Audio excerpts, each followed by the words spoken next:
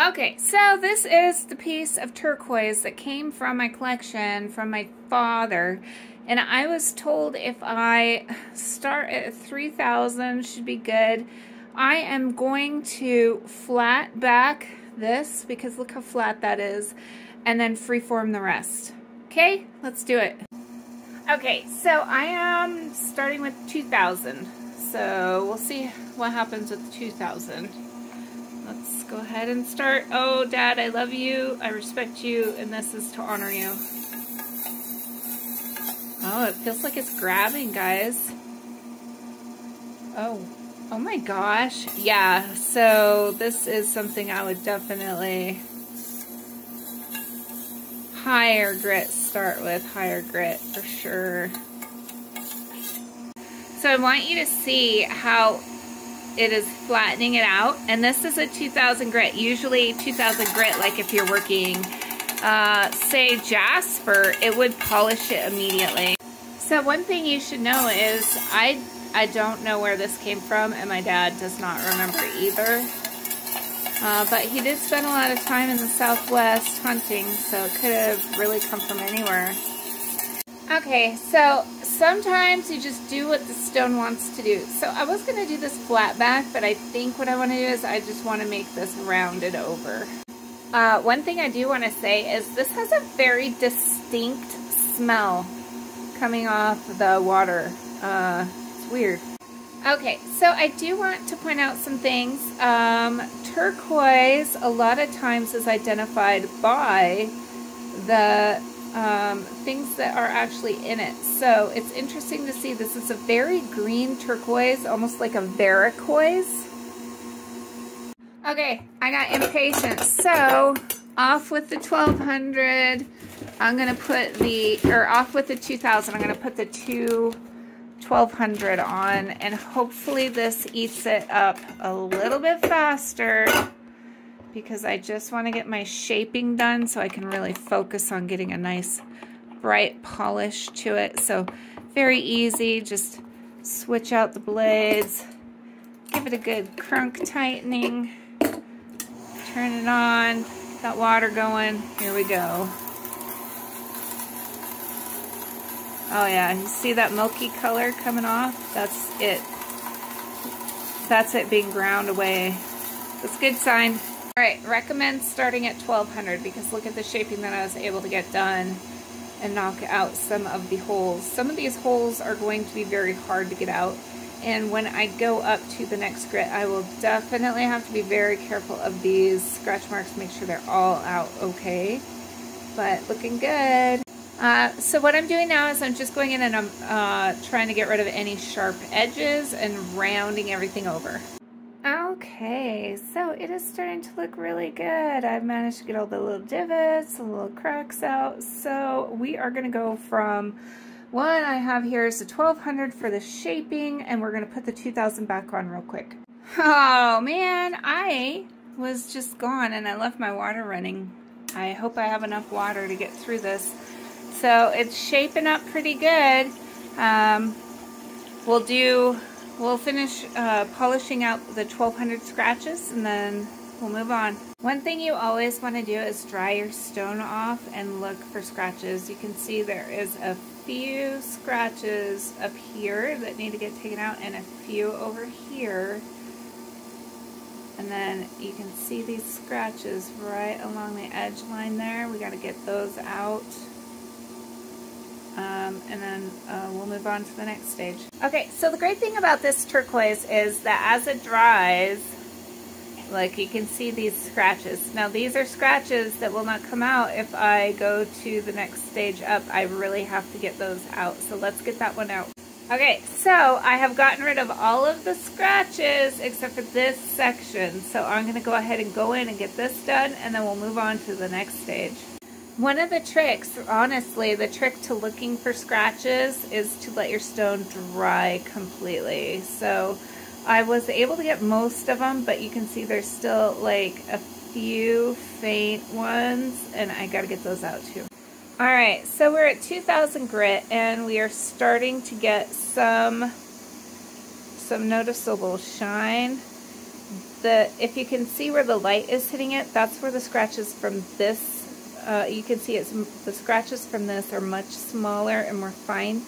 And so we're going to go to the next stage and we're going to take all those scratches out, those fine scratches, and it's going to start to polish.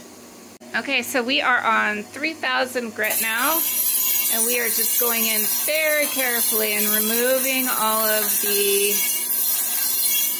scratches from the last grit stage. I like to use the circular motion, but you don't have to.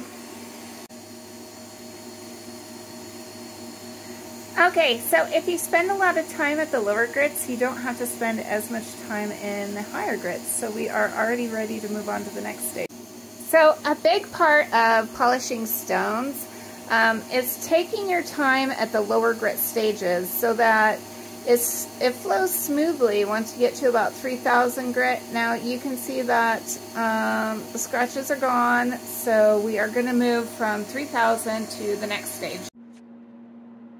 All right, so the next stage, we are gonna take a polish compound called ZAM. It comes in a canister. I, I always store mine in mineral oil, just it helps keep it soft. You don't have to do that. It's, it's really just an extra step. So I'm gonna go inside and take uh, my Dremel to this and then I will show you the final results. Okay, so the next step involves using my Dremel. I prefer using the Dremel Micro.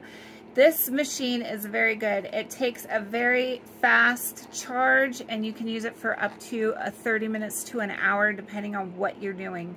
Um, I do want you to take note of one thing and it's super duper duper duper important. I want you to see, do you see how I didn't put the mandrel in all the way?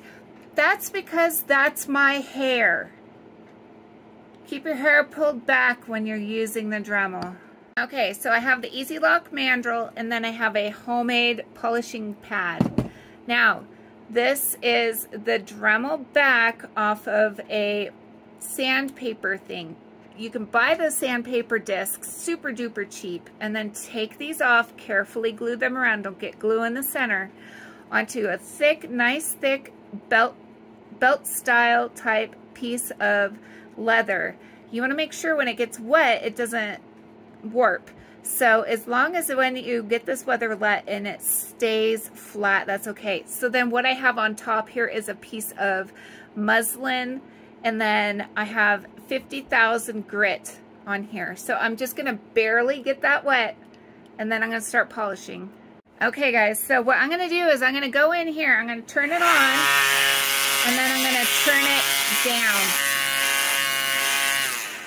I want you to know if you're off level or you're not perfectly symmetrical, it will ruin your mandrel, okay? So you want to keep that in mind. Now, I'm going to take my stone, which you can see is already starting to develop a polish, okay? And then I'm just going to go in very lightly, and I'm going to go over it, okay? Now, I'll be right back after I do that. Okay, now, because I shaped this with a flat lap, guys, it is going to look like there's little flat edges all around it. And there's pretty much no way around that. You have to be like a super amazing gifted flat lapper. I am not to that point yet. One day I will be. So let's go on to the next step is going to be the ZAM. Z-A-M, ZAM. Okay, so this is also on a homemade disc, okay? and it's got some muslin on there that has some heavy duty strings and the stuff inside there that green stuff that is the ZAM so I'm going to use this on high power because when you're polishing you want high power except for opals okay this is an, an opal it could be Variquoise it could be turquoise or it could be Variscite I don't know because my dad collected it so let's get started Loud. Crazy loud. Okay, I'm going to get going on this. I'll be back in a minute. Y'all, I ain't kidding when I say you got to make sure your hair is pulled back. I don't even know if you can see this. Thankfully, the Dremel stopped on its own. Okay? You do not want this to happen to you. I promise. It hurts like a mofo. Look at that. Pretty sure that's how dreadlocks are made. That is going to be fun getting out. Look at that. It is so wound so tight. Anyways, your hair back. Okay, so we made it through that, uh, through the ZAM. Now we're going to take another handmade uh, polishing pad. This one is, you know, same as before, the leather with the thing in the center, but I have attached a piece of suede to the top. There is no compound on the suede. It is just suede, and it is dry. Remember, dry.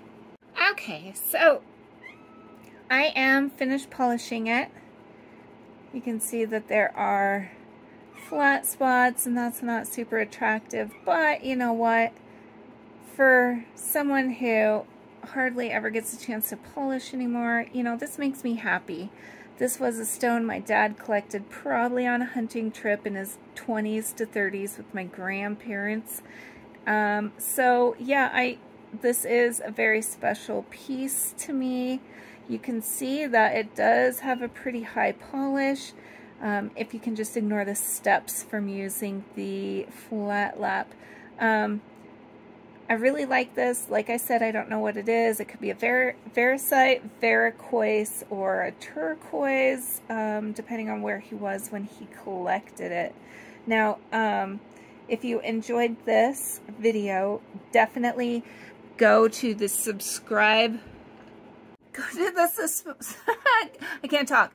Go to the subscribe button. Um, probably gonna take me all night to get this out of my hair. but uh, we do have a podcast that we um, encourage you to come watch. It's live every Thursday night at 7 p.m.